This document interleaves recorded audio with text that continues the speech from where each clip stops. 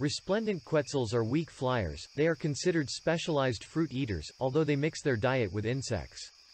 Particularly important are wild avocados, which the birds swallow whole before regurgitating the pits, which helps to disperse these trees. The skin of the quetzal is very thin and easily torn, so it has evolved thick plumage to protect its skin. This species plays an important role in various types of Mesoamerican mythology.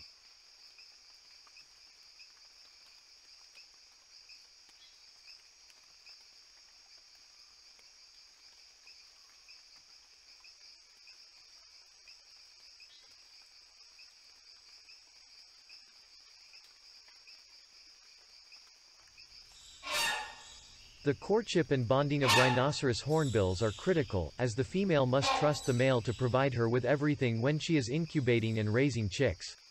These hornbills make their nests inside tree trunks, and the female stays inside with the eggs and then with the chicks, while the male brings them food. The diet of the rhinoceros hornbill is dominated by fruit, but it will take any small animals that it can catch.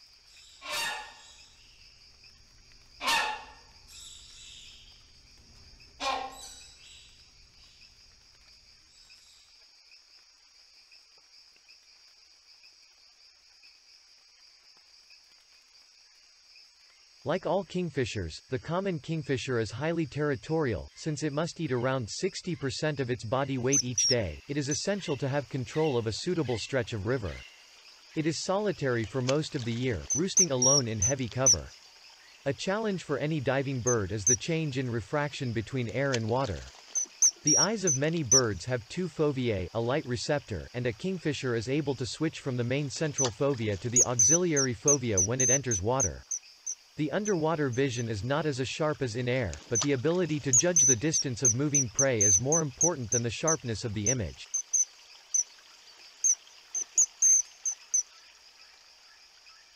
The name laughing kookaburra refers to the bird's laugh, which it uses to establish territory among family groups. It is widely used as a stock sound effect in situations that involve a jungle setting. Kookaburras hunt much as other kingfishers do, by perching on a convenient branch and waiting patiently for prey to pass by, like mouse.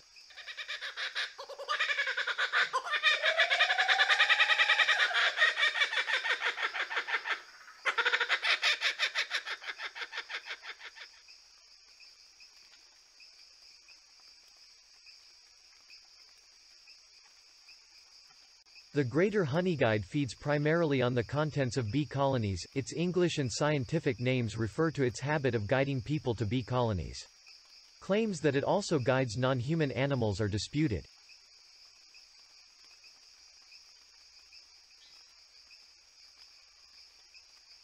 These birds get their English name from their ability to turn their heads through almost 180 degrees. When disturbed at the nest, they use this snake-like head twisting and hissing as a threat display. This odd behavior led to their use in witchcraft, hence to put a jinx on someone.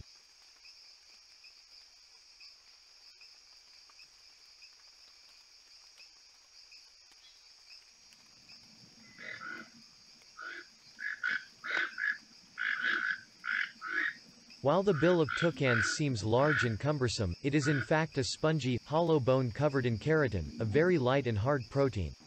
Keel-billed toucans are very social birds, rarely seen alone.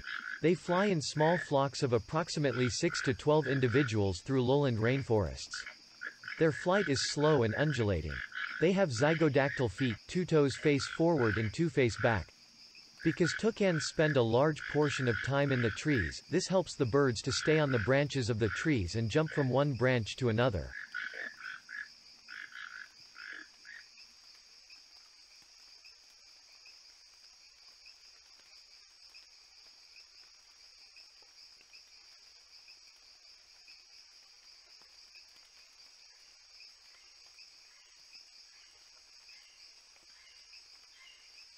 Terror birds are an extinct clade of large carnivorous flightless birds that were the largest species of apex predators in South America during the Cenozoic era. Phorusrhacos is thought to have lived in woodlands and grasslands and was a very fast runner.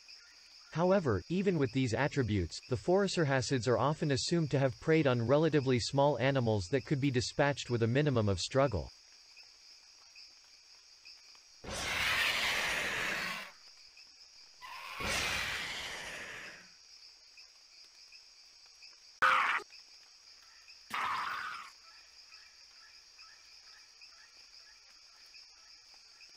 It is not entirely clear how Kelenken captured and killed its prey.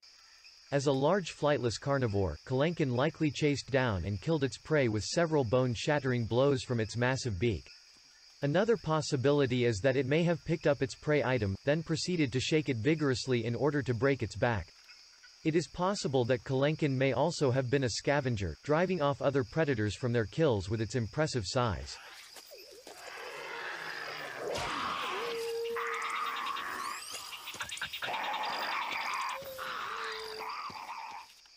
Titanis is one of the larger species, it had a relatively rigid wrist, which would not have allowed the hand to fold back against the arm to the same degree as other birds.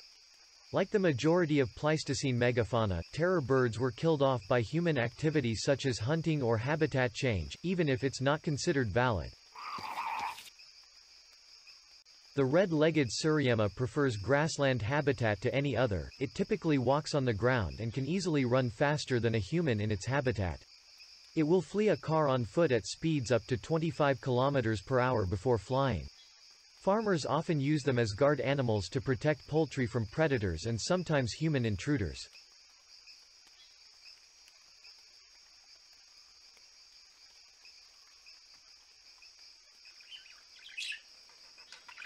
Found wild throughout the drier parts of Australia, prior to colonization budgerigars had survived harsh inland conditions for 5 million years. It is closely related to lories and the fig parrots. They are the third most popular pet in the world, after the dog and cat. Male specimens of budgerigars are considered to be one of the top five talking champions amongst parrot species. In wild, they are nomadic and flocks move on from sites as environmental conditions change. The birds are normally found in small flocks, but can form very large flocks under favorable conditions. Movements are tied to the availability of food and water. Sulfur-crested cockatoos can be locally very numerous, leading to them sometimes being considered pests. A highly intelligent bird and naturally curious, they have adapted very well to European settlement in Australia and live in many urban areas.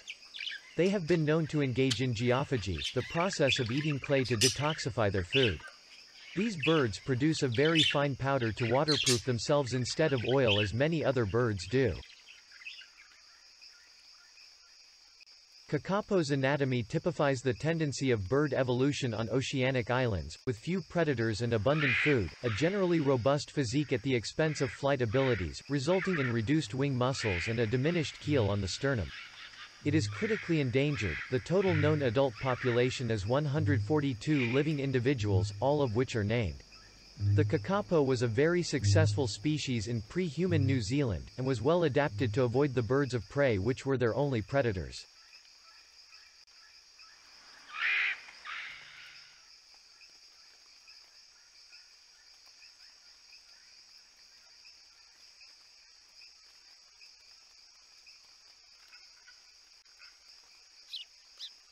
The house sparrow is strongly associated with human habitation, and can live in urban or rural settings. Though found in widely varied habitats and climates, it feeds mostly on the seeds of grains and weeds, but it is an opportunistic eater. Because of its numbers and association with human settlements, the house sparrow is culturally prominent. It is extensively and usually unsuccessfully persecuted as an agricultural pest. Though it is widespread and abundant, its numbers have declined in some areas. The Eurasian tree sparrow's extensive range and large population ensure that it is not endangered globally, but there have been large declines in Western European populations, in part due to changes in farming practices involving increased use of herbicides and loss of winter stubble fields. In many aspects of its behavior, the russet sparrow is similar to the house and Eurasian tree sparrows. Like them, it feeds on the ground, but spends most of its time perching on branches. Unlike those species, it prefers open, exposed branches for perching. It is gregarious and forms flocks to find food, though it infrequently associates with other birds. Indian jungle crow is an opportunist and generalist omnivore. They may soften their food by dropping them in water and have also been observed to eat sand after feeding on meat from a carcass.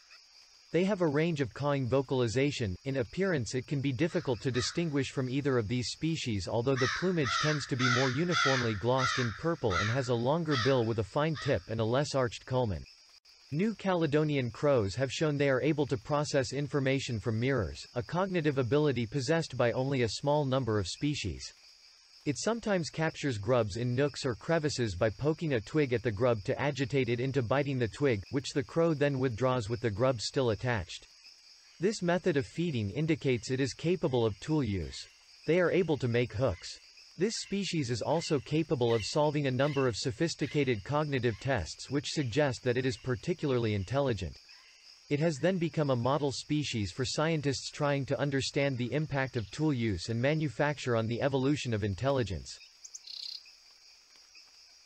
The Java sparrow is a very gregarious bird which feeds mainly on grain and other seeds. It frequents open grassland and cultivation, and was formerly a pest in rice fields, hence its scientific name. It has been a popular cage bird in Asia for centuries, first in Ming dynasty China and then in Japan from the 17th century, frequently appearing in Japanese paintings and prints.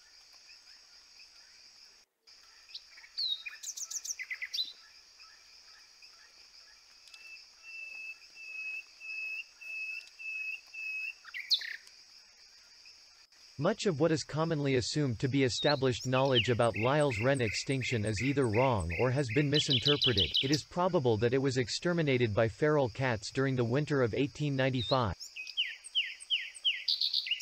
A medium-sized songbird with rich chestnut and black plumage, this species is one of the few known poisonous birds, containing a range of batrachotoxin compounds in its skin, feathers and other tissues.